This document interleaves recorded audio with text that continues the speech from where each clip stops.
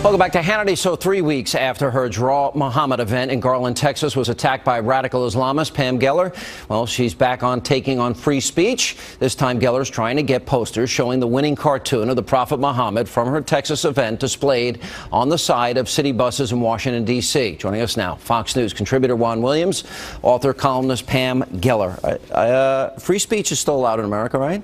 I don't know, not according to the media. Is there is there any law prohibiting any political speech on buses well, in D.C.? No, there is not. Uh, the fact is, the political, cultural, and academic elites are censoring this cartoon.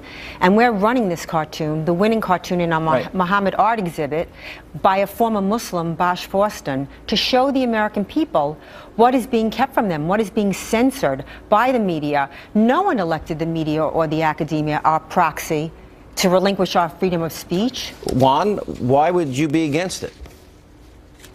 Well, nobody is saying that you can't see this ad or cartoon or anything if you want to see it, Sean. I think Ms. Geller is doing it intentionally to provoke a controversy.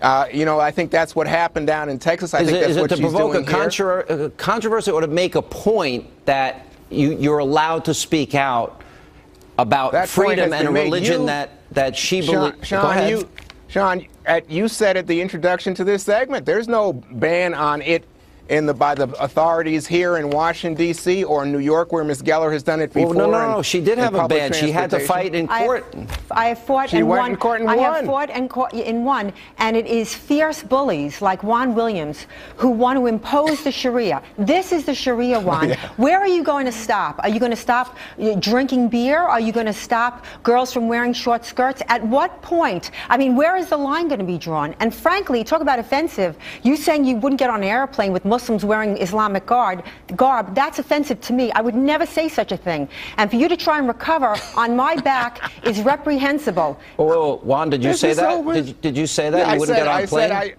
I, I did not say. I said. They, I said when I see. This is what got me fired from NPR, Sean. That's as right. you recall, oh, I said right. that I when I see people uh, dressed in Muslim garb as I'm getting on a plane, it causes me some degree of fright, uh, concern. So that was taken as offensive. And Ms. Geller, this has nothing to do with that. I'm, I'm a huge free speech advocate. What I see you doing, I think, is trying to provoke unnecessarily controversy and at times offending and demeaning Muslims who regard your actions as not only provocative but offensive. All right, quick reaction. Go ahead. Muslims that support free speech will not be offended. Muslims that want to impose the Sharia will be offended. And frankly, your uh, offensive remarks are far more uh, you know, humiliating to Muslims than my running ads uh, for, uh, about a cartoon that the media refuses to run. That's why I'm running this ad. It's not to be provocative.